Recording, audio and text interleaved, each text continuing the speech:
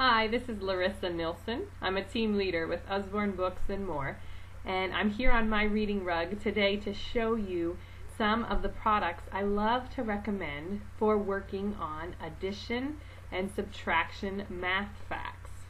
My son has been working hard this year in first grade to learn his math facts, and I'm a little nervous about our summer break from school. I want him to keep practicing. So I am just delighted that I can put these products in his hands and help him have some extra support with practicing math facts this summer. So let's take a look at these. The first one I want to show you is our learning wrap-ups. Each one of these sets, uh, you order them individually, helps with math facts. We have them for addition, subtraction, multiplication, and division, and there's also one on states and capitals. But the way these work is that they're actually individual plastic, uh, kind of like cards, I'll call them. And each one has a number family that they work on. So this is the subtraction one. This is the minus one card. There's a minus two and a minus three, etc.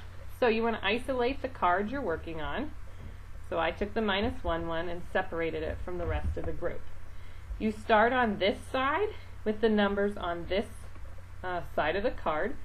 So you start with 7 and you put your string in the little notch right there. Then you ask yourself, what is 7 minus 1?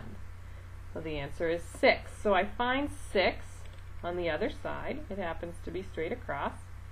And then I loop back around for the next one. It's a 4. 4 minus 1. Oh, well that would be 3. So I find the 3 and put the string on that notch. And I keep going all the way down.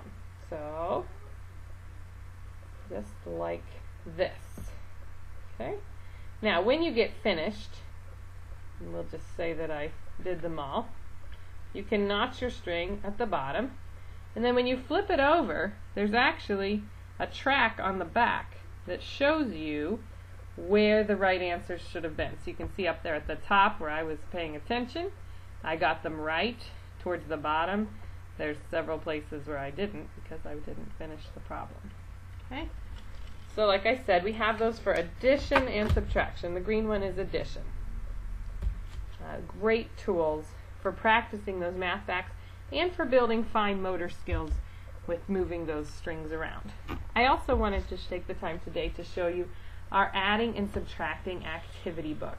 This is a dynamite, colorful book that gives a lot of chances to practice the math facts. It is super colorful and has different puzzles and questions on each page.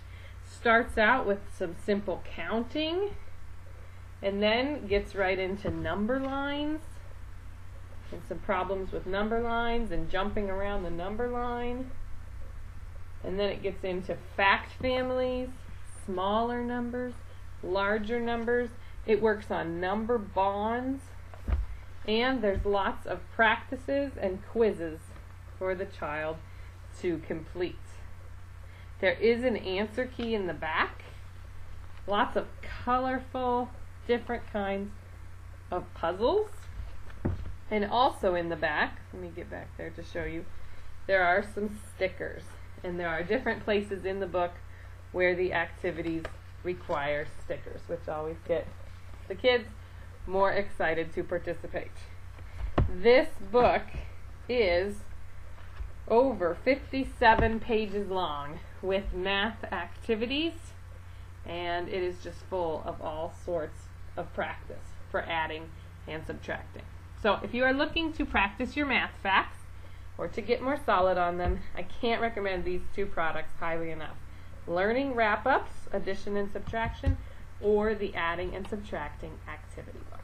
Thanks so much.